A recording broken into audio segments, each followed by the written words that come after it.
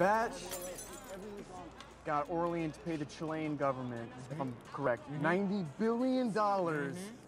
to let the tsunamis hit up the coast of that country. Does that sound right to you? Mm-hmm. And you know, Isherwell built an underground bunker too for him and all his executives. No, I heard they built an escape ship. You guys, the truth is way more depressing.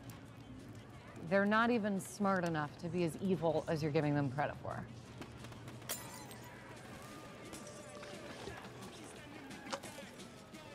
Ah! What? No.